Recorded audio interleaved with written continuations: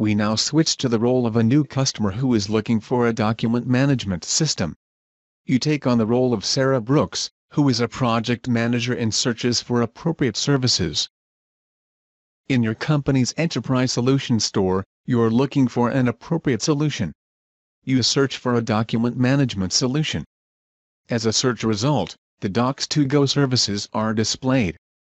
You opt for the free of charge try and buy edition of Docs2Go to test the service features, and view the service description.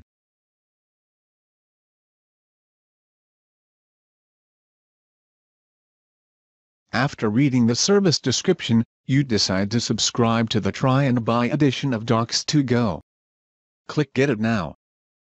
Before you can subscribe to the service, you have to log in.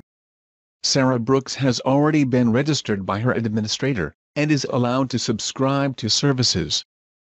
To complete the subscription, you must define the name for it, or confirm the default name. Then click Next. Accept the license agreement, and click Confirm. To use the subscription, you must assign yourself as a user to it.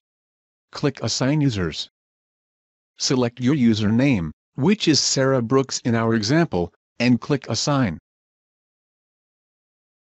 Now you can use your subscription.